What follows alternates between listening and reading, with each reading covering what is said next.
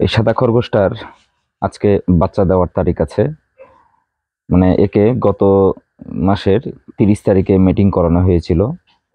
তো সেই অনুযায়ী আজকে এক মাস পূরণ হবে এই খরগোশের মিটিং করানোর পরে তিরিশ দিন পূর্ণ হয়ে গেছে। তো আজকে এর বাচ্চা দেওয়ার তারিখ আছে। এবং সে এখনই আবার নেস্টিংটা পুনরায় ঠিকঠাক করছে। দেখছেন নেস্টিংটা পুনরায় ঠিকঠাক করছে।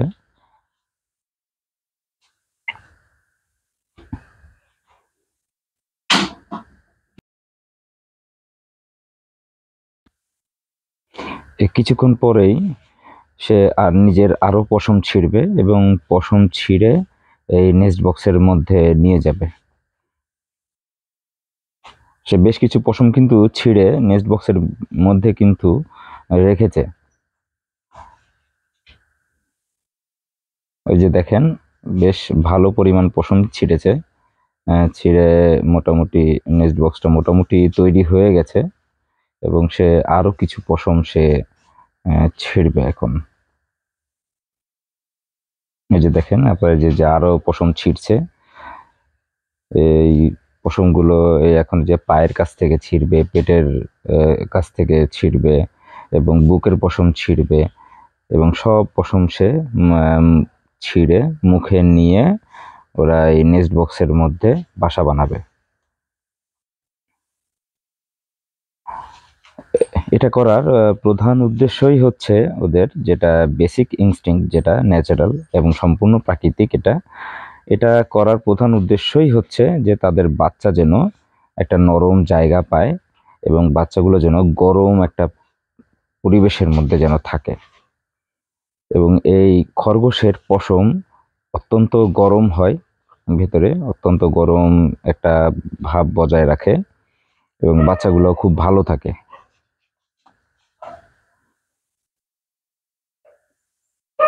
দেখেন কত পশম ছিঁড়ছে, পশম ছিঁড়ে ছিঁড়ে মুখে জমা করছে। এবং কিছুক্ষণ পর এই পশমগুলা সে ছিঁড়া হয়ে গেলে সে বাসার মধ্যে নিয়ে যে রাখবে। পূর্বে অনেকগুলো পশম সে রেখে দিয়েছে, এখন সে আরও পশম ছিঁড়ছে।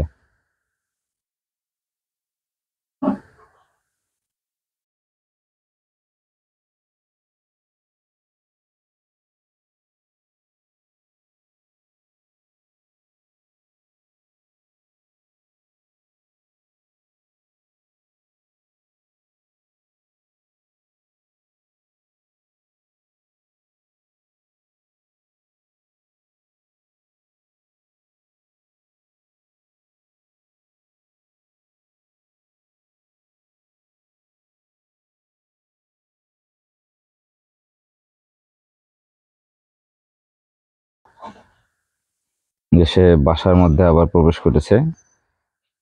নেক্সট বক্সের মধ্যে সে পশমগুলো রাখা হয়েছে। সম্ভবত ওর প্রসব বেদনা উঠে গেছে যে ও বাচ্চা দেওয়ার জন্য, সে বাচ্চা প্রসবের জন্য সে মোটামুটি বসে গেছে। আশা করা যাচ্ছে কিছুক্ষণের মধ্যে সে বাচ্চা প্রসব করবে। আমি অপেক্ষায় আছি যে কখন সে বাচ্চা প্রসব করবে এবং আমি দেখব। যে কয়টা বাচ্চা দেয়। আশা করছিলাম যে এর অন্তত পক্ষে চারটা বাচ্চা দিবে। তো খরগোশ সাধারণত দুইটা থেকে আটটা পর্যন্ত বাচ্চা দিয়ে থাকে। কখনো কখনো এরও বেশি দেয়। আমাদের খামারে আমি নয়টা পর্যন্ত বাচ্চা পেয়েছি একসাথে। এবং আমার অপর একটি কালো খরগোশ আছে, এর পাশেরই চেম্বার। ওই যে দেখা যাচ্ছে বাচ্চাগুলো, সাদা বাচ্চা। ওর পাশের ওই কালো মা খরগোশটা কিন্তু সাতটা বাচ্চা দিয়েছে। তো এ দেখা যাক এ কয়টা বাচ্চা দেয়।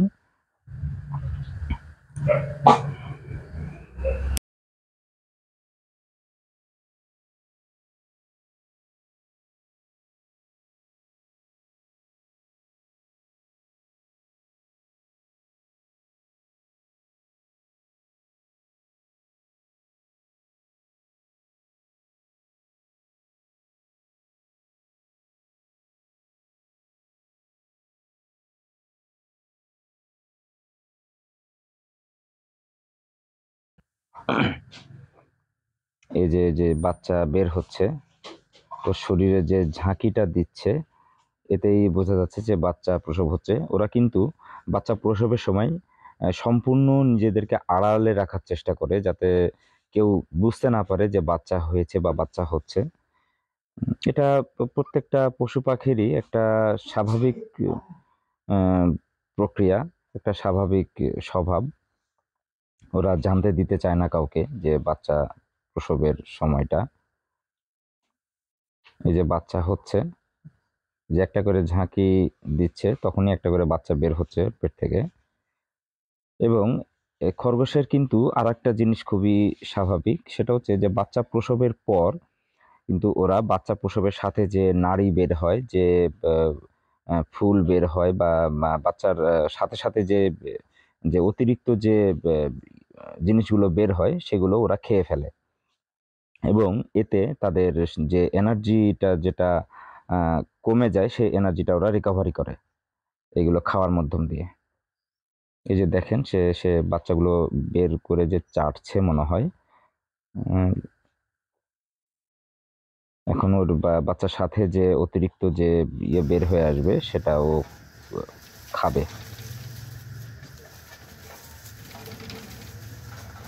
এখনও যে প্রত্যেকটা খরগোশকে এখন ওই দানাদার খাবার দেওয়ার সময় হয়ে গেছে, তো ওদেরকে দানাদার খাবার দেওয়া হচ্ছে।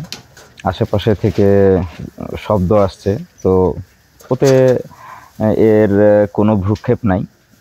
সে নিজের কাজ করছে। সে এখন বাচ্চা প্রসবে ব্যস্ত। এই যে এই যে যে ঝাঁকি দিচ্ছে, এই যে বাচ্চা বের হলো আর একটা এই যে এ- ধরনের যে পরিস্থিতি তখনই তৈরি হয় যখন ও বাচ্চা বের করে এবং সেই যে প্রথম বাচ্চাটার যে ফুল বের হয়েছিল সেই ফুলটা ও খাচ্ছে এখন। এটা একটা স্বাভাবিক প্রক্রিয়া, কারণ বাচ্চার নবজাতক বাচ্চাগুলোর সাথে যে নাড়ি বা যে অতিরিক্ত যে বিষয় বস্তুগুলো বের হয়ে আসে ওগুলো ওরা খেয়ে নেয় এবং সম্পূর্ণ জায়গাটা পরিষ্কার করে রাখে এবং এটা একটা স্বাভাবিক প্রক্রিয়া। এখনও সে ওটাই করছে। এই যে আর একটা বাচ্চা বের হলো। তো দেখা যাক কয়টা বাচ্চা দেয়। তো বাচ্চা প্রসবের শুরু থেকে শেষ পর্যন্ত মোটামুটি সাধারণত পাঁচ থেকে দশ মিনিটের মধ্যেই এই প্রক্রিয়াটা শেষ হয়ে যায়। ওরা এই সময়ের মধ্যেই সম্পূর্ণ বাচ্চা প্রসব করে ফেলে।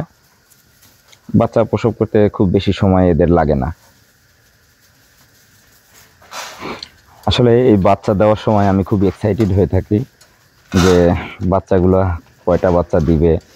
বা আমি একে নিয়ে একটু বেশি এক্সাইটেড ছিলাম কারণ একে যে মেলটা দিয়ে মেটিং করানো হয়েছিল, এটা একদমই নিউ অ্যাডাল্ট মোটামুটি আট মাস বয়সের মেল এবং তাকে প্রোডাকশনের জন্য নতুন রেডি করা হয়েছে এবং তার রংটাও সুন্দর কালারটাও সুন্দর, সাদা এবং বাদামি রঙের মিশ্রণ একটি কালার রং। তো ওই মেলটাকে দিয়ে কে মিটিং করানো হয়েছে। তো দেখা যাক, আমি খুব এক্সাইটেড যে কেমন রঙের বাচ্চা হবে, কয়টা বাচ্চা হবে, এটা দিয়ে আমি খুব একটু এক্সাইটেড ছিলাম। তো অবশেষে বাচ্চা হচ্ছে। তো আমি কিছুক্ষণের মধ্যেই দেখতে পাবো যে বাচ্চা কয়টা দিল। অপেক্ষায় আছি, ও কখন বের হবে, সব কাজ শেষ করে। ওরা বাচ্চা প্রসবের পর এখন কিন্তু, আজকে কিন্তু আরও কিন্তু দুধ খাওয়াবে না বাচ্চাদেরকে। ও একেবারে আগামীকালকে ভোরে বা দিনের কোনো এক সময়ে সে সময় করে সে দুধ খাওয়াবে। এবং এটা খুবই স্বাভাবিক একটা বিষয়। অনেকেই আপনারা ভয় করেন যে খরগোশ বাচ্চা দিয়েছে কিন্তু বাচ্চার কাছে যাচ্ছে না বা দুধ খাওয়াচ্ছে না। তো এখানে আসলে ভয় পাওয়ার বা চিন্তা করার কোনোই কারণ নাই। খরগোশ সাধারণত বাচ্চা প্রসবের পর প্রায় আঠারো থেকে চব্বিশ ঘণ্টা পরে একবার দুধ খাওয়ায় এবং এরপর থেকে প্রত্যেক দিন একবার করেই সে দুধ খাওয়ায় এবং এটাই যথেষ্ট। মা খরগোশ কখনোই বাচ্চাদেরকে দিনে দুই তিনবার দুধ খাওয়া দুধ পান করায় না। কারণ এত অল্প বয়সের বাচ্চাগুলোকে মানে ছোট বাচ্চাগুলোকে মোটামুটি শূন্য থেকে শুরু করে মোটামুটি বারো চোদ্দ দিন বয়স পর্যন্ত এদের দিনে একবার করে দুধ খাওয়ালেই যথেষ্ট। এবং সেটা মা মোটামুটি সময় মতো সে নিজেই দুধ খাওয়ায়। এবং ওই সময়ে এদের দুধের ইরেকশনটা এত বেশি হয় যে বাচ্চাদের পেট অনেক বড় হয়ে যায় এবং পেট ফুলে যায়। এবং হাতে ধরে মানে ম্যানুয়ালি বা আলাদাভাবে বাচ্চাদেরকে ধরে যখন মায়েরকে ধরে রেখে বাচ্চাদেরকে ধরে যখন দুধ খাওয়ানো হয়, তখন এত পরিমাণ দুধ বাচ্চারা পায় না। এই জন্য আমরা পরামর্শ দিই যে আপনারা কেউ বাচ্চাদেরকে ধরে ধরে জোর করে এভাবে ধরে দুধ খাওয়াবেন না। আপনারা বাচ্চাদেরকে মায়ের কাছেই রাখুন এবং মা নিজেই সময় মতো দুধ খাওয়াবে ওদেরকে। শুধু একটা জিনিস চেষ্টা করবেন যে মা মা ও বাচ্চার পরিবেশ যেন স্বাভাবিক থাকে, ওরা যেন ভয় না পায়, তাহলেই হবে। ঠিক সময় মতো মা নিজেই বাচ্চাদেরকে যেয়ে যেয়ে দুধ খাইয়ে আসবে। এনে ভয় করার কোনো কিছু, কোনোই কারণ নাই। তো আমি অপেক্ষা করছি আর কতক্ষণ লাগবে জানি না, তবে আশা করছি খুব তাড়াতাড়ি বাচ্চা প্রসব করার কাজটা ওর শেষ হয়ে যাবে। এই প্রক্রিয়াটা শেষ হবে। খুব বেশিক্ষণ সময় নাই। কারণ বেশ সাত আট মিনিট পার হয়ে গেছে। আমি যতক্ষণ ধরে ভিডিও করছি মানে ফোন নিয়ে, ক্যামেরা নিয়ে দাঁড়িয়ে আছি, আসলে যে এই পুরো প্রক্রিয়াটা আমি ভিডিও করব। ওর বাচ্চা প্রসব করা মনে হয় শেষ।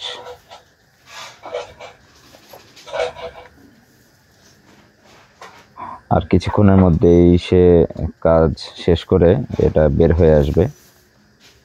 তখন আমি দেখব যে কয়টা বাচ্চা দিল। তবে আমি যে গত একটা ভিডিওতে আমি যে দেখিয়েছিলাম এই খরগোশটাকেই পরীক্ষা করে, যে পেটে বাচ্চা আছে কিনা, কীভাবে আপনারা পরীক্ষা করবেন, এটা আমি দেখিয়েছিলাম। তো তখনই আমি ধারণা করেছিলাম যে এর পেটে অন্তত পক্ষে চারটা বাচ্চা আছে।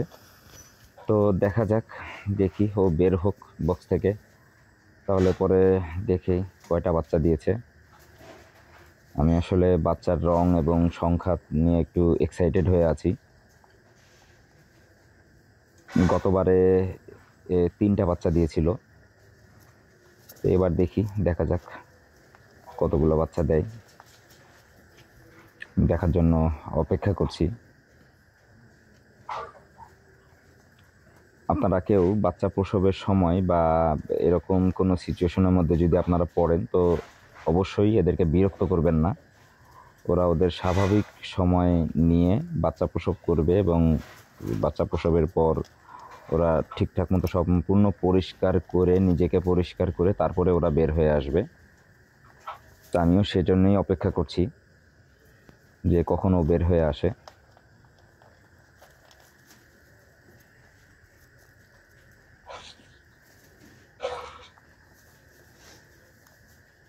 আরও একটা খরগোশ আজকে বাচ্চা দিবে।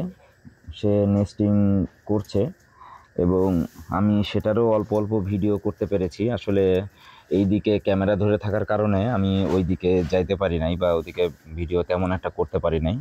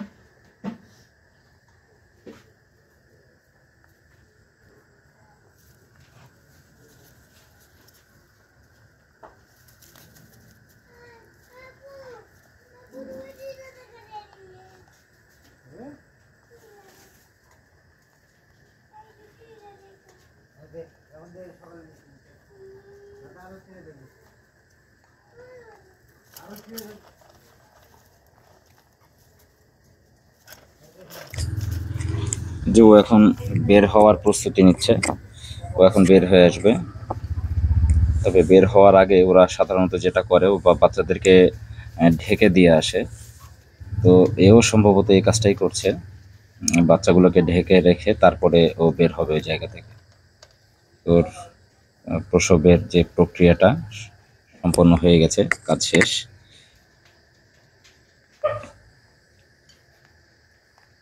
এবারও বের হয়ে আসবে।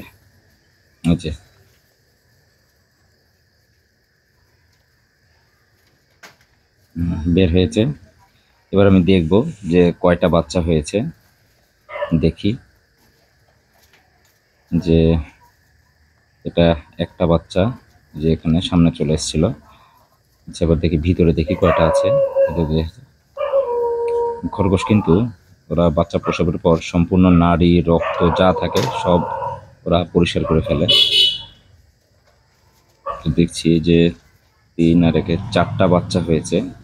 চারটাই বাচ্চা আছে। যাক, আলহামদুলিল্লাহ। কোনো সমস্যা নাই। সম্পূর্ণ সুস্থ চারটা বাচ্চা দিয়েছে। ও এখন নিজেকেও আরও কিছু পরিষ্কার করছে। ওর শরীরে কোনো চিহ্ন রাখবে না প্রসবের। তো ভিডিওটা এই পর্যন্তই। সবাই সুস্থ থাকবেন, ভালো থাকবেন। আসসালামু আলাইকুম।